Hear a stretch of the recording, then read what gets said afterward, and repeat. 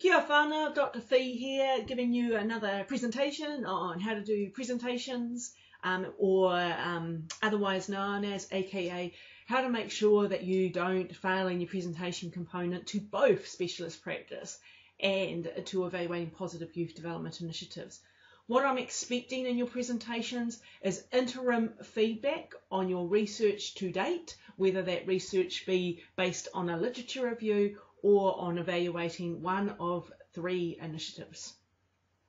Uh, you can see here I've opened up uh, Microsoft PowerPoint. I'm up to presentation number seven because all six other videos haven't worked so far. So here's hoping. Right, so presentation number seven. Uh, I don't like white in the background. It's just a personal thing. You might like it. That's all good. You can have a white background. But I'm going to change my background. So I'll go to design and I'll just have a look at what these different backgrounds are that Microsoft's saying. Um, that was pretty cool. Nah, I'll just go for a background style.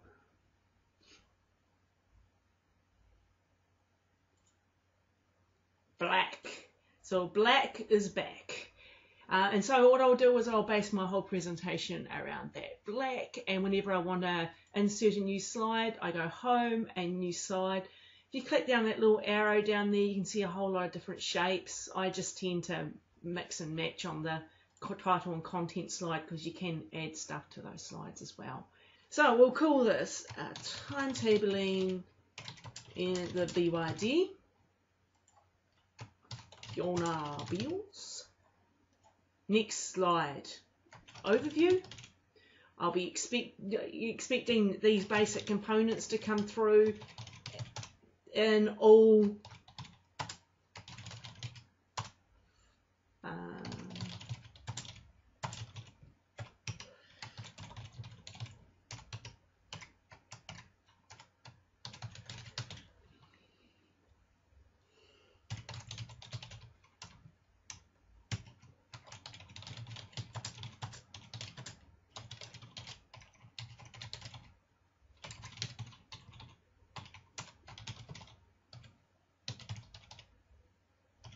So, in all your presentations, I'm expecting that you are going to give us a little bit of a background. Why are you doing this, this research? And what your key questions are now in evaluating information, those questions are now in those books, as well as your methods and your methodology. What was your methods that you used to find that question? Now, in evaluating, I'm expecting an ology as well. So, was it qualitative, was it quantitative, or mixed? In um, specialist practice, I just need to know the methods that you use to find your literature.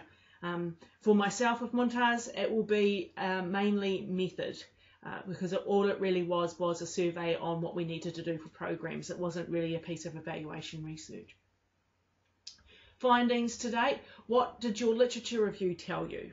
If and and what has your literature review tell, told you? What has your own research told you in evaluating um, positive youth development initiatives? Or what has the analysis of the literature literature told you in specialist practice? And what are the implications for own practice? And that's both for your community and for um, uh, and for yourself, for your organisation and self. So I go to add a new slide. I can just go here. What I tend to do with um, overview slides is duplicate them.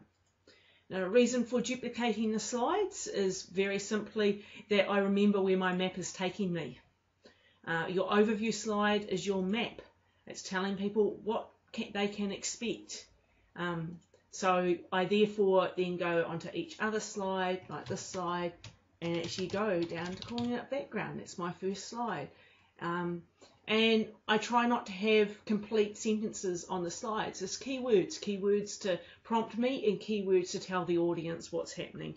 So we have the background was really on student um, engagement and staff perceptions. So we've had, as you all know, we've had uh, a few students um, leave us in the BYD and um, what staff have found noticed is that these students really struggled with their assignments really early on in the, in the program and often didn't come to blocks. So um, hence this idea that emerged that maybe um, block courses don't really work because if you miss one block, you can technically miss all the information you need for your assignments. So that's the background. That's the motivation to why we actually set up that survey. Um, if because I just use that standard layout, if I want to add a picture, uh, you should always make sure that your pictures are highly relevant. Last picture I looked for was hip hop. Don't think that's relevant. Okay, um, I might put the word student in. I might throw a picture up of one of you, but better not. But there we go. I'll put that picture in. Voila.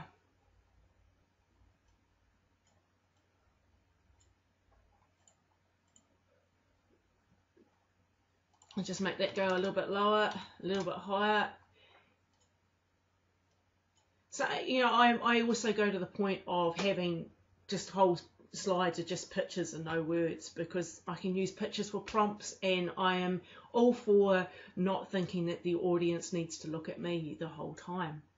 So after that, I have my key questions. So as you know, my key question is, you know, does timetable, what, what do students think about timetabling and block courses in the BYD? So I'll just write that on one slide. What do students think? I'm not going to do that here. Um, because we're trying to get through this PowerPoint quite quick, this, this presentation quite quickly.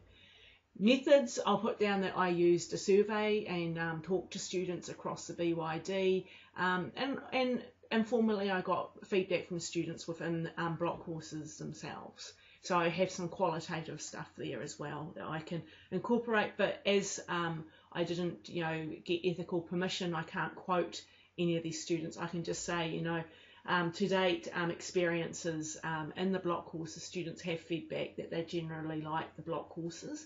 Um, there's been some problems about locations and, and stuff, but we, yeah, we've got to get that right.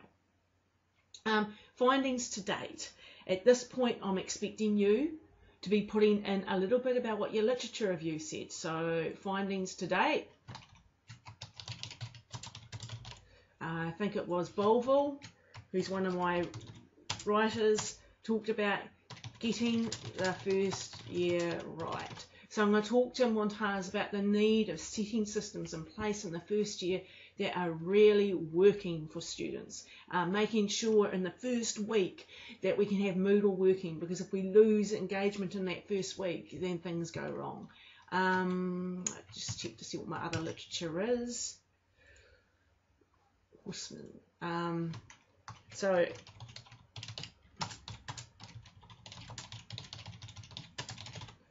So Horseman was very much about how do we use technology, and, and he very much talked about using um, text messaging and stuff so that we could really keep the students engaged. And my last one was Jeffrey. Uh, so Jeffrey's writing about blended learnings, which is what the BYD is all about, and saying, hey, we've got to make sure that if you are using technology, that you have the right blending between face to face and technology. So that's what my literature review has told me, and that's what I'm going to feed back to Montaz about the literature review.